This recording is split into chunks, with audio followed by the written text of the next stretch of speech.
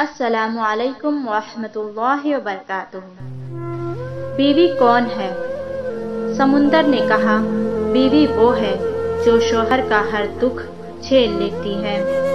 आसमान ने कहा, बीवी वो है जो शोहर के हर दर्द पर रोती है।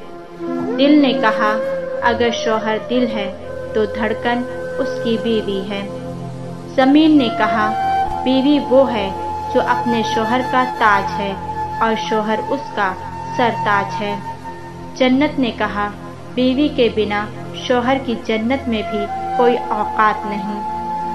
नमाज़ ने कहा, बीवी वो है जो अपने शोहर को जन्नत में पाने की ख्वाहिश रखती है।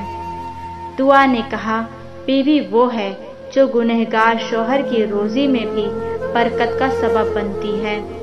अल्लाह सुबहान ताला ने कहा बीवी मेरी तरफ़ से अपने शोहर के लिए कीमती और नायाब तोहफा है।